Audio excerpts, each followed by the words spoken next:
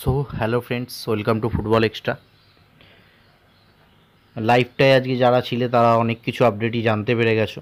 যারা লাইভটা দেখোনি দেখে নিও।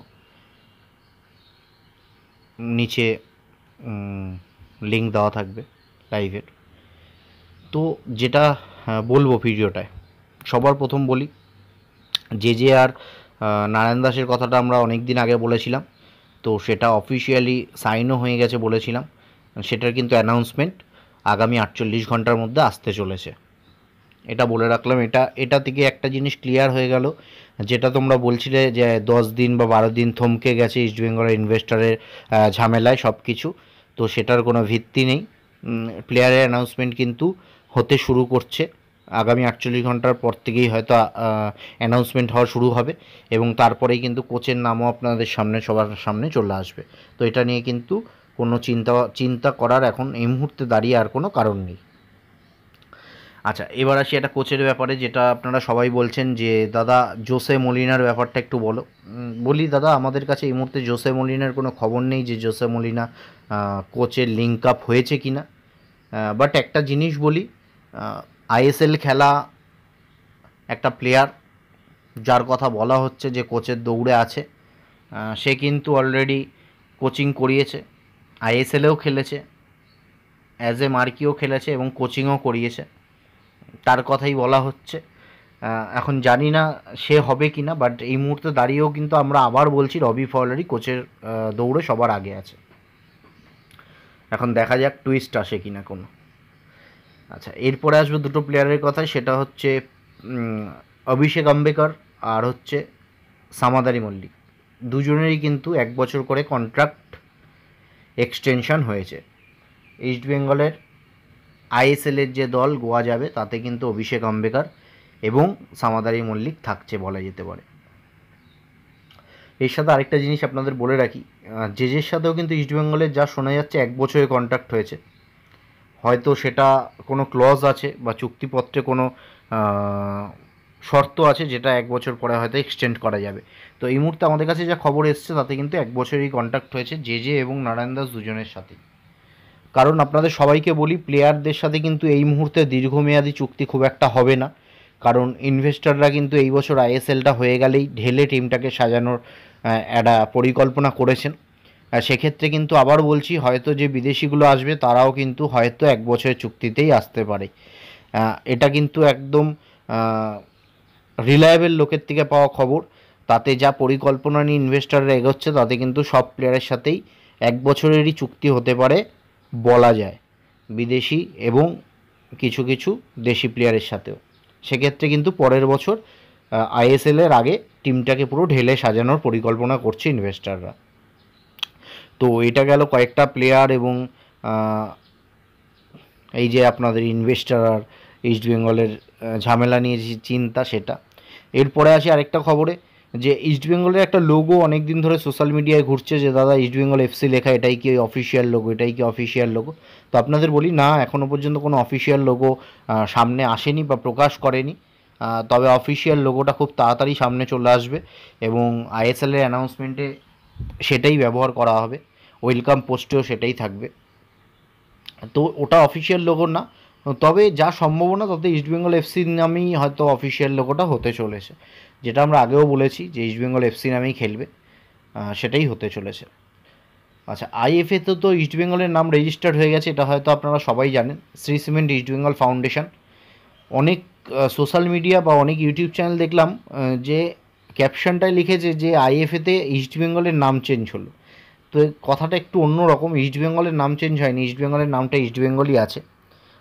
মোহনবাগানের নামটাও কিন্তু মোহনবাগানই আছে। ফুটবল সত্ত্বটা কিনে নিয়েছে এটিকে, সেই জন্য এটিকে এমবি মানে এটিকে মোহনবাগান নামটা হয়েছে। ঠিক সেরকমই কিন্তু শ্রী সিমেন্ট ইস্টবেঙ্গল ওটা কিন্তু মার্জার। আরেকবার বলে দিই, এটিকে আর মোহনবাগানের যেটা হয়েছে, মার্জার হয়ে একটা নতুন এন্টিটি তৈরি হয়েছে। তার নামটা হচ্ছে এটিকে মোহনবাগান এফসি ইস্টবেঙ্গলের ক্ষেত্রে একটু আলাদা। ইস্টবেঙ্গলে ইনভেস্টার ইনভেস্ট করেছে, তার ছিয়াত্তর পার্সেন্ট শেয়ার ইনভেস্টারের কাছে আছে, চব্বিশ পার্সেন্ট শেয়ার ইস্টবেঙ্গল ফুটবল ক্লাবের কাছে আছে। তো এরা যে নতুন কম কোম্পানিটা গঠন করেছে, সেটার নাম হচ্ছে শ্রী সিমেন্ট ইস্টবেঙ্গল ফাউন্ডেশন। এই শ্রী সিমেন্ট ইস্টবেঙ্গল ফাউন্ডেশনের কাছেই কিন্তু ইস্টবেঙ্গলের ফুটবল সত্ত্বটা আছে। তার সাথে হকি, অ্যাথলেটিক, সেগুলো শর্ত আছে। তো এই শ্রী সিমেন্ট ইস্টবেঙ্গল ফাউন্ডেশন, এই কোম্পানির অধীনেই কিন্তু ইস্টবেঙ্গল ফুটবল ক্লাব ফুটবল খেলবে। এটা হলো ছোট করে আপনাদের একটা জাস্ট বলে দিলাম যে শ্রী সিমেন্ট ইস্টবেঙ্গল ফাউন্ডেশনের অধীনে ইস্টবেঙ্গল ফুটবল ক্লাব আইএসএল সহ যাবতীয় টুর্নামেন্টগুলো খেলবে। তো আশা করি এটা আপনাদের বোঝাতে পেরেছি।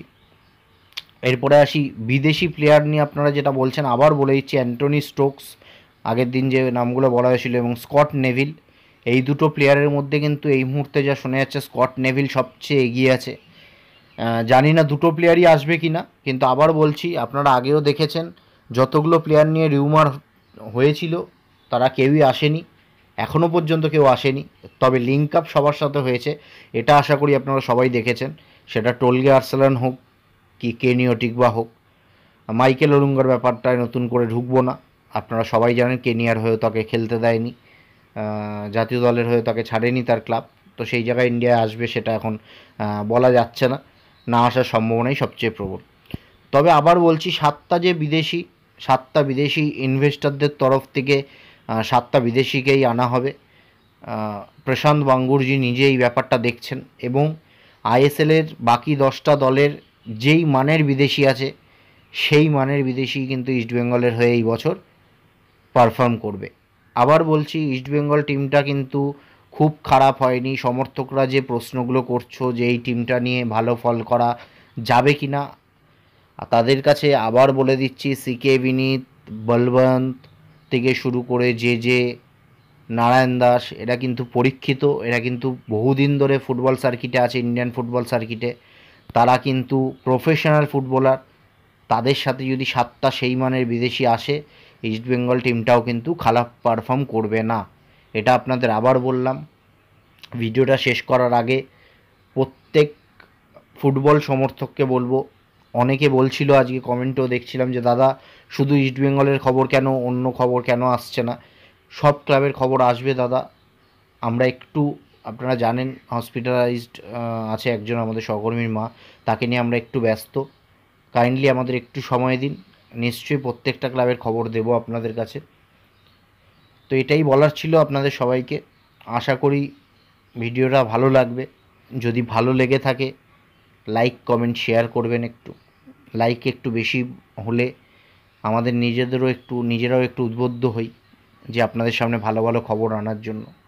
আর যারা বলছেন, দাদা, আপনাদের তো একটাও খবর মিলছে না। দাদা, চেষ্টা করছি খবর মেলানোর যেরকম সোর্স মারফত খবর পাচ্ছি, সেগুলোই আপনাদের সামনে তুলে ধরছি। তো সবাইকে অসংখ্য ধন্যবাদ। যদি ভালো লাগে লাইক কমেন্ট শেয়ার করবেন।